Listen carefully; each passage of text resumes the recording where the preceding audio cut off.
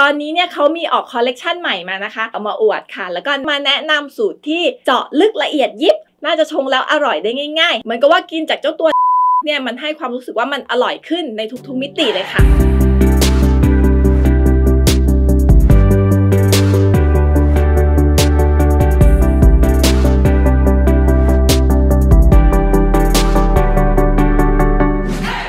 สวัสดีค่ะบุญช่อง BUNista นะคะ วันนี้เนี่ยเราก็จะพามาแนะนำ dripper ตัวนี้ค่ะ เชื่อว่าหลายๆ คนเนี่ยก็น่าจะเคยเห็นหรือว่าเคยได้ลองใช้ดูแล้วนะคะ เพราะว่าตัวนี้เนี่ยค่อนข้างดังเลยทีเดียว ตอนนี้เนี่ยเขามีออกคอลเลกชันใหม่มานะคะ เราก็เลยอยากเอามาอวดค่ะ แล้วก็แนะนำกันแบบเจาะลึกละเอียดยิบ พร้อมวิธีชงให้อร่อยด้วยค่ะสำหรับคนที่รู้ story ของเจ้า dripper ตัวนี้อยู่แล้วเนี่ย อยากจะรู้สูตรชงที่เราแนะนำเลย ก็สามารถกดข้ามไปดูตรงที่เราทำ chapter ไว้ได้เลยนะคะ แต่สำหรับใครที่อยากรอฟัง story ก็มาฟังกันเลยค่ะ dripper ตัวนี้ชื่อรุ่น CT62 ยี่ห้อ Dragonfly ค่ะ ที่จริงแล้วเนี่ย Dragonfly เขาเป็นบริษัทออกแบบผลิตภัณฑ์ นาฬิกาเครื่องประดับของใช้ในชีวิตประจำวัน แล้วก็เฟอร์นิเจอร์แต่งบ้านสไตล์จีนร่วมสมัยค่ะ ผู้ก่อตั้งคือคุณเจฟ หรือว่าชื่อจีนของเขานะคะ ชื่อว่าซือต้าอุยเป็นนักออกแบบชื่อดังชาวไต้หวันค่ะ เขาได้รับรางวัลทางด้านการออกแบบผลิตภัณฑ์ ระดับนานาชาติมากมายเลยค่ะ เริ่มต้นเปิดเป็นร้านขายสินค้าดีไซน์เก๋ๆ ชื่อว่า Dragonfly Gallery เมื่อปี 1996 ค่ะ ต่อมาเนี่ย ได้ไปเปิดบริษัทที่ปักกิ่งประเทศจีน ชื่อบริษัท Dragonfly Design Center ในปี 2010 ค่ะ ที่บริษัทเขาใช้ชื่อว่า Dragonfly เนี่ย ที่แปลว่าแมลงปอนะคะ อันที่จริงแล้วเนี่ย ตัวอักษรภาษาจีนเนี่ย ไม่ได้แปลว่าแมลงปอนะคะ แต่ว่ามันเป็นคำที่พ้องเสียงกันค่ะ และคุณเจฟเองเนี่ยก็เป็นผู้ที่ชื่นชอบแมลงชนิดนี้เป็นพิเศษ เนื่องจากว่าเป็นสิ่งมีชีวิตตั้งแต่ยุคโบราณกว่า 300 ล้านปี เกิดจากไข่ฟักเป็นตัวอ่อน หลังจากนั้นเนี่ยก็ลอกคราบออกมา พร้อมกับมีตาสองข้างที่ใหญ่มองเห็นได้อิสระรอบทิศ แล้วก็ยังมีปีกที่แผ่กว้างแข็งแรง สามารถโบยบินได้อย่างอิสระเสรี ไปไกลมองโลกกว้างได้เป็นสัญลักษณ์แทนการพัฒนาเติบโตอย่างก้าวกระโดด ทั้งทางจิตวิญญาณ ความรู้แล้วก็ความสามารถค่ะ ในวัฒนธรรมจีนยังถือว่าเป็นแมลงที่เป็นมงคลอีกด้วยนะคะ คุณเจฟเนี่ยเขาก็เลยได้ใช้คำพ้องเสียงของคำว่าแมลงปอในภาษาจีนก็คือคำว่า ชิงถิง ที่เขียนแบบนี้นะคะ แต่ว่าเปลี่ยนตัวอักษรเป็นเขียนอีกแบบหนึ่งค่ะ ที่แปลว่า สวนบริสุทธิ์ค่ะ เพราะนอกจากความคาดหวังว่าบริษัทจะเติบโตตามแบบของแมลงปอแล้วเนี่ยเขาก็ยังคาดหวังว่าผลงานของตนเองจะสามารถนำพาเอากระแสบริสุทธิ์ให้กับสังคม เป็นพื้นที่ที่จุดประกายความคิดริเริ่ม และสร้างสรรค์เปี่ยมไปด้วยสภาพแวดล้อมของผลงานสไตล์จีน ดังนั้นแล้วเนี่ยดิปเปอร์รุ่นนี้ก็เลยมีรหัสสินค้าว่า CT ซึ่งก็ย่อมาจากคำว่า蜻蜓 ส่วนเลข 62 เนี่ยก็มาจากที่ dripper ตัวนี้เนี่ยมีความเอียงทำมุม 62 องศาค่ะ เล่ามาถึงตรงนี้เนี่ยจะบอกว่า dripper ตัวนี้เนี่ยไม่ได้ชื่อว่า CT62 นะคะ มันเป็นแค่รหัสของสินค้าของบริษัท Dragonfly เท่านั้นเอง dripper ตัวนี้เนี่ยจริง ๆ แล้วเขามีชื่อว่าซันเหวินค่ะ และมันมีที่มาที่ไปยังไง เราจะมาเล่าให้ฟังค่ะ ตั้งแต่ปี 2010 นะคะ ที่บริษัท Dragonfly Design Center เนี่ยเขาได้เริ่มโปรเจกต์ออกแบบผลิตภัณฑ์ที่เกี่ยวข้องกับ 12 นักสัตว์ออกมาซึ่งโปรเจกต์นี้เนี่ยได้เสร็จสิ้นไปเมื่อตอนปี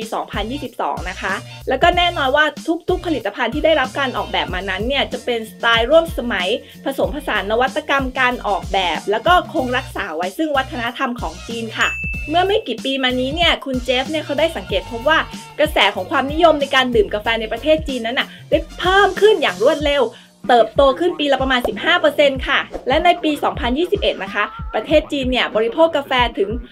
250,000 ตัน เติบโตขึ้นกว่าปีก่อน 25%และเพราะว่าโควิด -19 เนี่ยทำให้ผู้คนที่อาศัยอยู่บ้านมากขึ้น เวลาชงกาแฟด้วยตัวเองเนี่ยก็มากขึ้น จึงเกิดเป็นความนิยมการดริฟกาแฟกินกันอย่างกว้างขวางค่ะ ในปี 2022 ที่งานแสดงกาแฟแห่งหนึ่งคุณเจฟเนี่ยได้มีโอกาสรู้จักกับหัวหน้ากรรมการแข่งกาแฟ คุณหูหยวนเจิ้งหรือคุณเจคฮูนั่นเองค่ะ แล้วก็ได้พูดคุยวิเคราะห์ทิศทางของการตลาด จึงได้ตัดสินใจที่จะออกแบบอุปกรณ์ชงกาแฟที่มีความพิเศษ ทั้งในด้านของการใช้งาน แล้วก็มีกลิ่นอายของวัฒนธรรมจีนอยู่ด้วย ทั้งสองคนเนี่ยเขาก็เลยได้ร่วมมือกันออกแบบ dripper ได้ออกมาเป็น dripper ที่มีความสวยงาม แล้วก็มีประสิทธิภาพที่ใช้งานได้ดี เพราะว่า ผ่านการคิดค้นออกแบบจากผู้เชี่ยวชาญด้านกาแฟระดับโลก และปีที่เจ้า dripper ตัวนี้ออกสู่ตลาดนะคะ ก็เป็นปีเถาะหรือว่าปีกระต่ายพอดี เขาก็เลยออกแบบให้เป็นชุดชง แล้วก็ชิมกาแฟ มี dripper ขาตั้งรูปกระต่ายแล้วก็แก้วชิมค่ะ หรือที่เรียกว่า Sensory Mug รูปทรงทิวลิปนะคะ เมื่อเปิดตัวออกสู่ตลาดเนี่ยก็ได้รับรางวัลการออกแบบยอดเยี่ยมของประเทศเยอรมันซึ่งเป็นรางวัลที่ได้รับการยอมรับอย่างยิ่งในระดับสากลค่ะ มาพูดถึงเรื่องการออกแบบนะคะ ลวดลายด้านนอกของ dripper ตัวนี้เนี่ยนะคะเขาอะได้ถอดแบบออกมาจากชุดเกราะสมัยราชวงศ์ถังของจีน ที่เรียกว่าชุดเกราะซันเหวิน ซึ่งลวดลายนี้เนี่ยนะคะ ถือว่าเป็นภูมิปัญญาของศิลปินจีนยุคโบราณ ที่ออกแบบรูปทรงสามมิติขึ้นมา ซึ่งลายนี้จะเป็นการเชื่อมต่อระหว่างพื้นผิว ผิวโค้ง มีสัดส่วนแล้วก็มีความมิติ สะดุดตา มีเส้นเชื่อมโยงต่อกันไม่สิ้นสุด ตอนแรกเนี่ยลายแบบนี้มันสะดุดตาเรามากเลยค่ะ สาวๆ หลายๆ คนก็สะดุดตาเหมือนกัน เพราะว่าลายด้านนอกเนี่ยมันเหมือนลายของกระเป๋ายี่ห้อโกยาร์ดค่ะ รู้สึกไหมคะ รู้สึกไหมรู้สึกไหมคะรู้สึกไหมคะ ตัวต่อมานะคะก็จะเป็นตัวนี้ค่ะ แก้วชิมนะคะ หรือที่เขาเรียกว่า sensory mug นะคะ นี่ค่ะ เขาจะออกแบบนะคะลักษณะเป็นรูปดอกทิวลิปค่ะ ตัววัสดุที่เขาใช้เนี่ยนะคะ จะเป็น new bone china เป็นเซรามิกเกรดพรีเมียมทำเลียนแบบเซรามิก bone china ค่ะ เดิมเนี่ยเขาจะเป็นการผสมกระดูกสัตว์เข้าไปทำให้มีความโปร่งแสง ความบาง น้ำหนักเบา แล้วก็มีความแข็งสูงค่ะ แต่ว่าเจ้าตัวที่เป็นนิวโบนไชน่าเนี่ยนะคะ เขาจะไม่ได้ใส่กระดูกสัตว์ลงไปค่ะ เขาจะมีสารเฉพาะที่จะใส่เข้าไปแทน แต่ก็จะทำให้คงคุณสมบัติความแข็งแล้วก็ความโปร่งแสงได้ดีในระดับหนึ่งค่ะ เจ้าตัวนิวโบนไชน่าเนี่ยนะคะเขาก็จะมีน้ำหนักมากกว่าตัวโบนไชน่าแบบดั้งเดิมค่ะผสมธาตุเหล็กต่ำ เผาออกมาเนี่ยก็จะมีสีขาวออกครีม ความหนาและรูปทรงของขอบปากของเขาตรงนี้เนี่ยนะคะ เขาออกแบบมาให้แนบสนิทกับปากของเราค่ะ เวลาที่เราชิมกาแฟเนี่ยริมฝีปากบนเนี่ยเราก็จะเผยออกเล็กน้อย น้ำกาแฟก็จะค่อยๆ ไหลเข้าไปในช่องปาก แล้วก็ คลุกเคล้าสัมผัสไปทั่วด้านในเพื่อเพิ่มรสแล้วก็เพิ่มสัมผัสค่ะ ตัวมือจับตรงนี้เนี่ยนะคะเขาออกแบบมาเป็นวงกลมโค้งมนค่ะ เวลาที่ถือเนี่ยเราก็ใช้นิ้วชี้สอดเข้าไปนะคะ แล้วก็นิ้วโป้งอยู่ข้างบนแบบนี้ค่ะ เกี่ยวไว้ เกี่ยวได้มั่นคงนะคะ โดยไม่ต้องออกแรงมากเลยค่ะ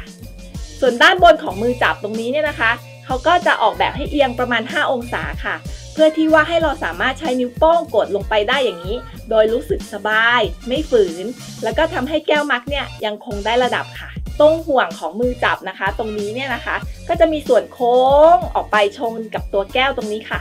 ซึ่งเอาไว้สำหรับให้ส่วนหลังของนิ้วกลางนะคะ เราแตะเอาไว้ตรงนี้ค่ะทำให้เราสามารถใช้ 3 นิ้วในการจับถ้วยได้ เป็นไปตามหลักสรีระศาสตร์ ถือสบายท่าทางสง่างามแล้วก็มั่นคงค่ะ เจ้าตัวทิวลิปมาร์กนี่นะคะ ด้านในเนี่ยเขาจะมีส่วนที่นูนตรงกลางเหมือนยอดเขาค่ะนี่เนาะถ้ามองจากตรงนี้เข้าไป ซึ่งคุณเจ๊ฮูเนี่ยเป็นคนแนะนำให้ทำแบบนี้ค่ะ เพราะว่ามันจะช่วยทำให้ไอแล้วก็กลิ่นที่ลอยขึ้นมาเนี่ยมีการกระจายแล้วก็ผสมเข้ากันได้อย่างรวดเร็วที่สุด และกลิ่นเนี่ยก็จะถูกบีบให้พุ่งเข้าด้านบนนะคะ แล้วก็ม้วนลงมาเพื่อกักกลิ่นเอาไว้ด้านในไม่ให้สูญเสียไปได้ง่ายค่ะ และชิ้นสุดท้ายในชุดนี้นะคะ ก็คือ ขาตั้งกระต่าย 3 ตัวค่ะ ซึ่งตัวนี้เนี่ยเราไม่มีนะคะ เพราะว่าดิปเปอร์ตัวนี้เนี่ยเขาออกวางขายตอนปี 2023 ซึ่งเป็นปีกระต่าย เขาก็เลยออกแบบให้มีรูปกระต่ายเข้าไปในผลงานชุดนี้ด้วยค่ะ คุณเจฟเนี่ยเขาใช้ภาพวาดที่อยู่ในถ้ำมั่วเกานะคะ ที่เมืองตุนหวง ซึ่งเป็นรูปวาดกระต่าย 3 ตัวหูเชื่อมกันหมายถึงชาติก่อนชาตินี้แล้วก็ชาติหน้า สื่อถึงวัฏจักรของกรรม แล้วก็การเวียนว่ายตายเกิด นำมาเป็นต้นแบบในการออกแบบขาตั้ง dripper ยึดกับถ้วยทิวลิป โดยหูกระต่ายเนี่ยเขาจะเชื่อมกันมาคล้องรับกับ dripper ส่วนขาหน้าก็จะค้ำยันตั้งอยู่บนปากของตัว tulip mug นะคะ ซึ่งคุณเจคฮูเนี่ยก็ได้บอกว่าการออกแบบที่ทำให้มันลอยขึ้นมาแบบนี้เนี่ยนะคะ ก็เพราะว่าตั้งใจที่ว่าจะให้คนชงเนี่ยสามารถชิมรสกาแฟขณะชงได้ โดยสามารถใช้ช้อนเนี่ยมารองน้ำกาแฟเพื่อที่จะชิมได้ค่ะ และเมื่อเรารู้สึกว่าได้รสชาติที่เราต้องการออกมาจนหมดแล้วเนี่ยเราก็สามารถยก dripper ออกได้ แล้วก็ยังทำให้สามารถสังเกตสีของน้ำกาแฟได้อีกด้วยซึ่งก็จะเป็นการควบคุมไม่ให้เกิดการสกัดที่มากเกินไปค่ะ นอกจากนี้แล้วนะคะเขาก็ยังมีขาตั้งหรือว่าแท่นวางที่ทำจากไม้ไผ่ด้วยค่ะสองตัวนี้นะคะ ซึ่งเขาก็ให้เหตุผลว่าไม้ไผ่เนี่ยเปรียบเสมือนความรุ่งเรืองของวัฒนธรรมตะวันออก แสดงถึงคุณธรรมแล้วก็ชีวิตของชาวจีน ไม่เพียงแต่จะเป็นวัสดุในการผลิตงานศิลปะ แต่ก็ยังเป็นวัสดุจำเป็นที่เป็นมิตรต่อสิ่งแวดล้อม แล้วก็ใช้แพร่หลายในการทำเฟอร์นิเจอร์ แล้วก็ของใช้ต่างๆ ค่ะ บรรพบุรุษชาวจีนเนี่ยได้รู้ถึงคุณลักษณะของไม้ไผ่ สร้างสารรค์ผลงานมากมายที่ทำจากไม้ไผ่ แล้วก็กลายเป็นส่วนหนึ่งในรากฐานและ DNA ของศิลปะวัฒนธรรมจีน ซึ่งแท่นวางไม้ไผ่ของเขาเนี่ยนะคะเขาก็มี 2 แบบนะคะก็คือ แบบที่เป็นเรียบๆแบนๆแบบนี้ค่ะ แล้วก็แบบตัวที่เป็นสามเศร้าแบบนี้นะคะ ซึ่งคุณเจฟเนี่ยเขาบอกว่าทุกคนเนี่ยเผชิญกับการดิ้นรนในการใช้ชีวิต ในฐานะที่เป็นคนที่อยู่บนโลกใบนี้ จึงนึกถึงเรื่องของการอนุรักษ์สิ่งแวดล้อม แล้วก็ความยั่งยืนเป็นแนวคิดในการออกแบบค่ะ ตัวแท่น dripper ที่เป็นสามเส้าตัวนี้เนี่ยนะคะเขาเลือกใช้วัสดุไม้ไผ่ที่เป็นมิตรต่อสิ่งแวดล้อมค่ะ แล้วก็ใช้การเข้าของไม้เนี่ยเป็นแบบเซาะร่องในการประกอบนะคะ สามารถแยกเป็นชิ้นส่วนได้เพื่อประหยัดพื้นที่ในการจัดเก็บ ลด carbon footprint แล้วก็เป็นมิตรต่อสิ่งแวดล้อมค่ะ ตัวแท่น drip เนี่ยพอเราวางลงไปแบบนี้แล้วนะคะ เราก็จะสามารถวางเซิร์ฟเวอร์แล้วก็วางแก้วรองข้างล่างแก้วกาแฟแบบไหนก็ได้ค่ะ แล้วแต่เราได้เลย โครงสร้างที่ดูเรียบง่าย แต่ว่าแข็งแรง สร้างความรู้สึกที่เหมือนกำลังทำพิธีกรรมศักดิ์สิทธิ์อยู่ขาที่กางออกเนี่ยก็จะรับน้ำหนักนะคะ ยิ่งน้ำหนักมากขึ้นเนี่ยมันก็จะยิ่งมั่นคงค่ะ เป็นเสน่ห์ทางศิลปะ แล้วก็ปัญญาทางสถาปัตยกรรม แนะนำกันไปแล้วสำหรับ dripper ตัวเก่า ทีนี้เราจะมาดู dripper ที่เพิ่งออกวางขายสำหรับปีหน้าปีมะโรงหรือว่าปีมังกรกันค่ะ ตัวนี้เนี่ยนะคะเขาเป็นรุ่นที่ชื่อว่า DS 62ค่ะ เขาจะมีขายแยกตัว dripper กับตัว tulip mug นะคะ แต่ว่าตัวขาตั้งลายมังกรตัวนี้เนี่ย เขาจะไม่มีขายแยกค่ะ ถ้าอยากได้เนี่ยนะคะ เขาก็จะขายออกมาเป็น box set แบบนี้ค่ะ เป็นกล่องสวยๆแบบนี้เท่านั้นนะคะ โดยในกล่องเนี่ยเขาก็จะมี dripper ขาตั้งมังกรแล้วก็ตัว tulip mug ค่ะ แล้วเจ้าตัว DS 62เนี่ย มันต่างกันยังไงกับเจ้าตัวเดิมล่ะ ในแง่ของการใช้งานนะคะ เรียกได้ว่ามันไม่ต่างกันเลยค่ะ แต่ในแง่ของการดีไซน์แล้วเนี่ย ต่างกันตรงลวดลายด้านนอกค่ะเขาอะจะออกแบบมาให้เกี่ยวข้องกับมังกรค่ะ DS เนี่ยเขาย่อมาจาก Dragon Scale นะคะ แปลว่าเกล็ดมังกร ซึ่งตามตำนานเนี่ยเขาบอกว่าเกล็ดมังกรเนี่ยก็คือเกล็ดของปลาหลีฮื้อหรือว่าปลาไนที่รู้จักกันดีในชื่อว่าปลาคาร์ฟนั่นเองค่ะ จากสำนวนที่บอกว่าปลาไนกระโดดผ่านประตูมังกรเขาเนี่ยมีตำนานนะคะเล่าว่ามีฝูงปลาในเนี่ยอาศัยอยู่ด้านใต้ของแม่น้ำฮวงโห หรือว่าแม่น้ำเหลือง พวกนี้เขาได้ยินมาว่ามีประตูมังกรที่สวยงามอยู่ทางเหนือของแม่น้ำก็เลยว่ายทวนน้ำเพื่อที่จะไปดูประตูมังกร พอถึงประตูเนี่ยมันสูงชันมากว่ายข้ามไปไม่ได้ ปลาส่วนใหญ่เนี่ยก็พยายามหาวิธีข้ามไปนะคะ แต่ว่าก็ไม่สำเร็จค่ะ ก็รู้สึกท้อแท้ แต่ว่ามีปลานายสีแดงตัวหนึ่งเนี่ยมีความกล้าหาญแล้วก็มุ่งมั่นจนสามารถกระโดดผ่านประตูนี้ไปได้ แล้วก็กลายเป็นมังกรค่ะ มันก็ได้พูดให้กำลังใจเพื่อนๆ เพื่อให้กระโดดข้ามให้ได้นะคะ ฝูงปลาเนี่ยเมื่อได้ยินอย่างนั้นเนี่ยก็เกิดความฮึ่งเหิมก็พากัน กระโดดเพื่อที่จะผ่านประตูมังกรอันสูงชัน หลายตัวเนี่ยกระโดดไม่พ้นก็หล่นลงมาหัวกระแทกหินจนเป็นแผลนะคะ ก็เลยเป็นสาเหตุให้ปลาในหรือปลาค้าบางตัวเนี่ยเขามีปานดำที่หัวมาจนถึงทุกวันนี้ค่ะ ดังนั้นเนี่ยชาวจีนจึงนับถือปลาหลีฮื้อเนี่ยว่าเป็นสัตว์มงคลนะคะ เป็นสัญลักษณ์ของความเพียรพยายาม ที่สามารถว่ายทวนน้ำแล้วก็กระโดดผ่านประตูมังกร กลายเป็นมังกรทะยานสู่ฟากฟ้าได้ค่ะเป็นคติสอนใจบุตรหลานว่าให้มีความเพียรพยายาม ไม่ว่าอะไรก็จะสามารถเป็นไปได้ค่ะ ลายด้านนอกเนี่ยก็จึงเป็นลายที่ได้รับแรงบันดาลใจมาจากเกล็ดมังกร แล้วก็กระเบื้องมุงหลังคาของจีนโบราณเขาก็จะใช้การซ้อนกันคล้ายเกล็ดปลาหรือว่าเกล็ดมังกรแบบนี้นะคะ ซึ่งเป็นสัญลักษณ์แทนความมีฐานะสูงส่ง แล้วก็เป็นสิริมงคลค่ะ ส่วนเจ้าตัวขาตั้งนี่นะคะ หรือว่าตัวแท่นวางเนี่ยพอเป็นปีมังกรนะคะเขาก็เลยทำเป็นรูปมังกรค่ะ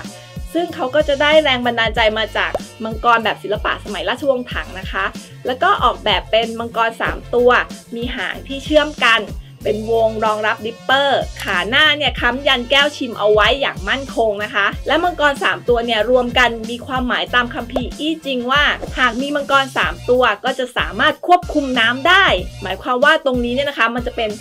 พื้นที่ที่เป็นชัยภูมิที่ดีมากในเชิงฮวงจุ้ยค่ะ และเมื่อวางแท่นมังกรเนี่ยมาใช้ในการรินน้ำนะคะ ก็จะเกิดเป็นลักษณะที่เกิดความมั่งคั่งแล้วก็ชีวิตราบรื่นค่ะ และในปี 2024 นี้นะคะ เป็นปีมังกรเขียว ก็จึงเน้นว่าเป็นมังกรหยก เป็นสีเขียวหยกนะคะเขาก็เลยออกแบบมาสองสีก็คือเขียวกับดำแล้วก็มีชื่อเต็มว่าเกล็ดมังกรหยก แล้วก็เกล็ดมังกรดำค่ะ ฟังมาถึงตรงนี้เนี่ยก็คงจะเข้าใจถึงแนวคิดการออกแบบของอุปกรณ์ทุกชิ้นของ Dipper เซตนี้กันแล้วใช่ไหมคะ ต่อมาจะมาพูดถึงลักษณะพิเศษของตัว Dipper CT62 แล้วก็ DS62 กันบ้างนะคะ มันมี 3 อย่างที่ทำให้สามารถสกัดกาแฟได้อย่างสม่ำเสมอ การไหลของน้ำสะดวก ไม่ตัน ไม่เกิด channeling แล้วก็ไม่เกิดการรั่วออกทางด้านข้าง หรือว่า bypass ด้วยค่ะ อย่างที่1นนะคะ ด้านในของ Dipper เนี่ยเขามีความสูงความกว้าง แล้วก็รูปร่างของรูระบายด้านล่างของ Dipper เนี่ยรับรองว่าทำให้การไหลเนี่ยไหลได้คล่องค่ะ แล้วก็ที่เป็น 62 องศานั้นเนี่ยก็เกิดจากการที่คุณเจ็คฮูเนี่ยค้นพบว่า ที่จริงแล้วกระดาษกรองไม่ใช่ 60 องศานะคะ แต่มันอยู่ที่ประมาณ 61 องศากว่าๆค่ะ ดังนั้นเนี่ยการทำ dripper ให้เป็น 62 องศา กระดาษกรองก็จะได้แนบกับ dripper ได้ดียิ่งขึ้น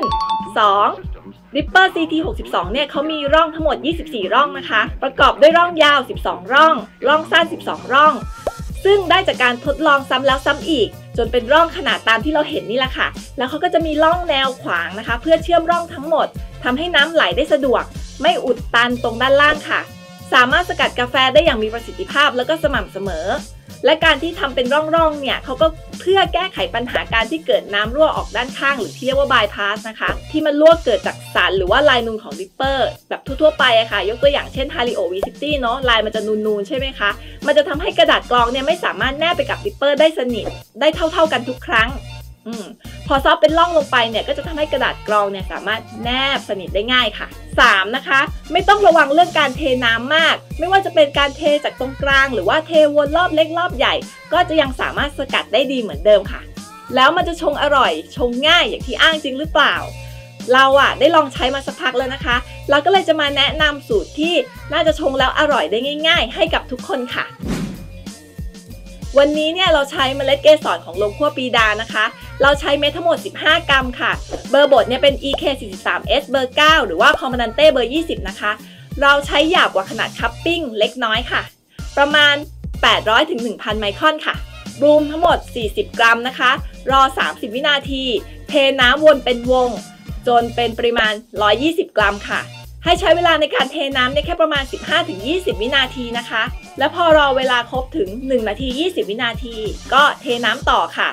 ระวังอย่าให้ระดับน้ำเนี่ยต่ำกว่าผิวหน้าของกาแฟนะคะ เท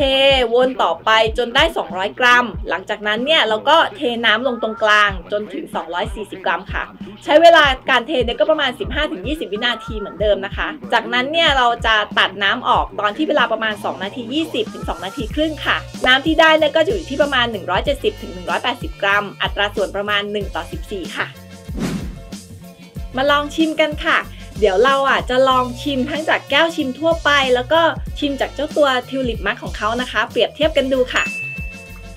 แก้วทั่วไปก่อนนะคะอืมหอมมากเลยค่ะ มีดอกไม้เหมือนพวกหอมหมื่นลี้นะคะ หอมฟุ้งอบอวนอยู่ในปากเลยค่ะ ตัวนี้มีองุ่นดำให้ความรู้สึกมีพลัมนะคะ เปรี้ยวหวาน after taste ยาวค่ะแล้วก็ ช่วงท้ายเนี่ยรู้สึกว่าเหมือนมีขนุนด้วยค่ะ เดี๋ยวมาลองตัวทิวลิปมากันบ้างนะคะกลิ่นดอกไม้แบบ หอมฟุ้งอยู่เลยค่ะเนี่ยอพอกินจากตัว tulip mug เนี่ยนะคะ รู้สึกเลยว่า flavor เนี่ยมันชัดขึ้น intense ขึ้น body เนี่ยก็รู้สึกเหมือนจะมากขึ้นด้วยนะคะ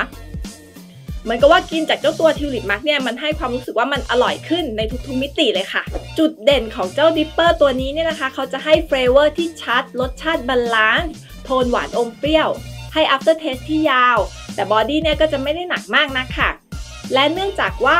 การสกัดเนี่ยเขาทำได้ค่อนข้างดีนะคะ เราจึงไม่ควรที่จะปล่อยให้น้ำไหลจนหมดทุกครั้งค่ะ เพราะว่ามันจะทำให้สกัดมากเกินไปได้ จึงควรใช้เทคนิคการเทน้ำลงตรงกลาง แล้วก็พยายามจะไม่ให้น้ำไหลจนหมดนะคะ เพื่อให้เกิดการแช่แล้วก็สกัดอย่างนุ่มนวลมากขึ้นค่ะ จากที่เราลองใช้มานะคะ เราว่าเป็น dripper ที่ชงง่าย สกัดกาแฟได้ดี คิดว่าหลาย ๆ คนเนี่ยก็คงจะชอบค่ะ ตอนที่ไป Thailand Coffee Brewer League เนี่ยเราก็เห็นว่าหลาย ๆ คนเนี่ยเลือกจะใช้ dripper ตัวนี้ในการแข่งขันค่ะ นอกเหนือจากการใช้งานแล้วนะคะ เราว่าเขาดีไซน์สวยค่ะ สีก็สวย แค่วางบนเคาน์เตอร์เนี่ยก็ดู luxury ขึ้นแล้วค่ะ เรื่องกระดาษกรองนะคะ ใช้กระดาษกรองทรงกลวยไซส์01 ก็จะวางพอดีเป๊ะเลยค่ะสำหรับข้อเสียที่เราเจอนะคะ ก็คือว่าเขาอะออกแบบขาตั้งหลายแบบเกินไปค่ะ ตอนที่เลือกซื้อเนี่ยก็ปวดหัวแล้วค่ะ แถมแต่ละแบบเนี่ยมันก็ไม่ได้ใช้งานได้ดีขนาดนั้น